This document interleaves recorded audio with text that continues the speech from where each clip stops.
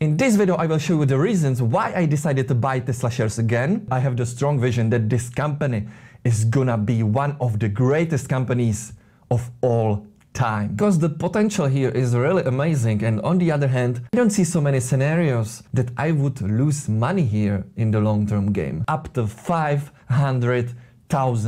24th September I managed to buy a nice dip over here. Mm. Huh. Huh. Huh. Huh.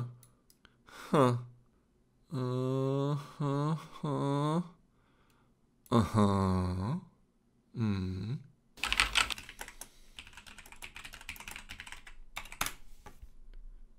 Uh-huh. Not bad. Ha ha ha ha.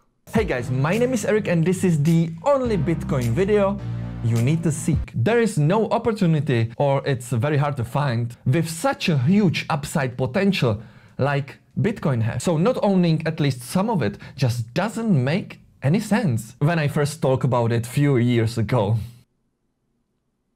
Uh, mm-hmm. Mm-hmm.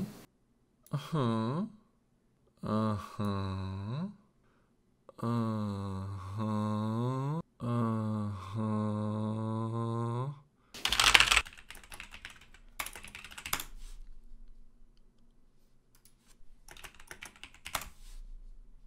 Huh?